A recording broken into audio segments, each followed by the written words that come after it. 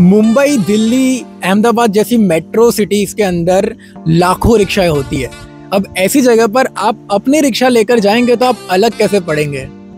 जय हिंद दोस्तों, यह है ईबा जीवी और आप देख रहे हैं इलेक्ट्रिक जादू इलेक्ट्रिक रिक्शा के फ़ायदे। जब आप किसी कंपनी के अंदर रिक्शा खरीदने जाते हैं तो आपको जो उनके कलर्स होते हैं वही मिलते हैं, जैसे कि काली पीली हो गया या फिर ग्रीन कलर हो गया। लेकिन अगर आप आते हैं ईबर्स के पास तो आपको मिलती है अलग अलग कलर्स की चॉइस मतलब ये है हमारा येलो कलर का रिक्शा आपको इसके साथ मिल जाएँगे वाइट कलर के रिक्शास अगर आपको चाहिए तो आपको हम दे सकते हैं ब्लू कलर के रिक्शास ग्रीन कलर के रिक्शास आपके दिमाग में जो भी कलर है, हम उसको पॉसिबल कर सकते हैं. तो दूर से जब कस्टमर आपकी अलग कलर की रिक्शा देखेगा तो उसको एक बार ज़रूर ख्याल तो आएगा कि इस रिक्शा में बैठने का मन है. पर एक बार जब रिक्शा के अंदर कस्टमर बैठ गया, फिर इसका क्या फ़ायदा है? वेल, फ़ायदा है। नॉर्मल रिक्शा जो होती है, उसमें बहुत आवाज़ आता है।